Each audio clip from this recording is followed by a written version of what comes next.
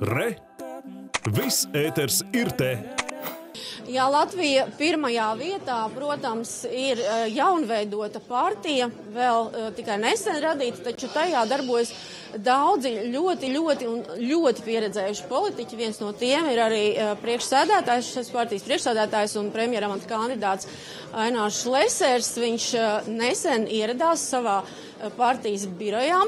Un tā lielā šī vakara intriga, viena no lielajām šā vakara intrigām ir, vai Latvija pirmajā vietā ar Aināru Šleseru šoreiz tiks saimā un varēs tur darboties. Mēs zinām, ka šie dati, ko rādīja pie vēlēšanu iecirkņiem aptaujātie vēlētāji, tad bija 5,3%.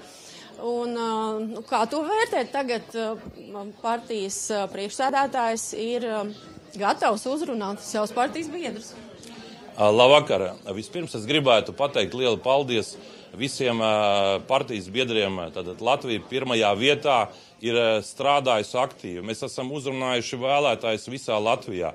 Mēs esam cīnījušies šajā negodīgajā cīņā, kur varas partijas izmantoja administratīvo resursu, kur Latvijas televīzija, Latvijas rādio nedēva visiem vien, vienādas iespējas. Mēs redzam, ka Latvijas rādio sēdēja visdažādākie eksperti, kas reklamēja esošo varu.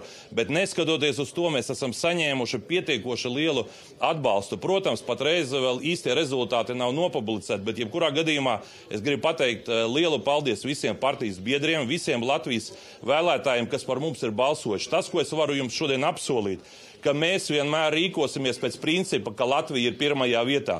Mēs darīsim visu, lai aizstāvētu uh, visu Latvijas sabiedrību. Mēs gribam apvienot Latvijas tautu. Mēs gribam, uh, lai Latvijas, Krievs, uh, Ebrejs, Ukrains, Baltkrievs Igauns, Lietuvijas, Pols, visas nācijas, kas šeit dzīvo, lai justos kā vienota tauta. Mums ir ārkārtīgi svarīgi, lai eh, Latvijas politikā būtu partija, kas visus apvieno. Bet pats svarīgākais, es teikšu tā, ka tā ir mūsu ideoloģija, tā ir tradicionālās ģimenes vērtības, kuras mēs aizstāvēsim, ko mēs esam solījuši.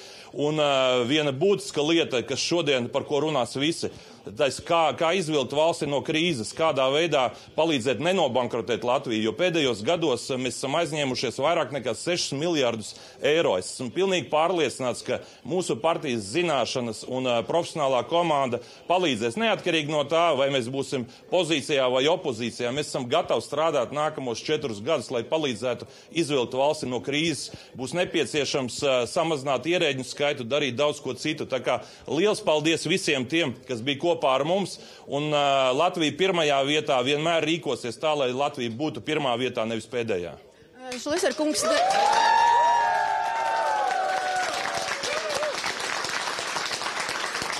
Jā, kā redzam, kā redzam, kā redzam, tad partija Latvija pirmajā vietā šeit priecājas tā, it kā jau būtu patiešām uzvarējuši, bet, nu, gal galā rezultāti vēl nemaz netuvu nav zināmi.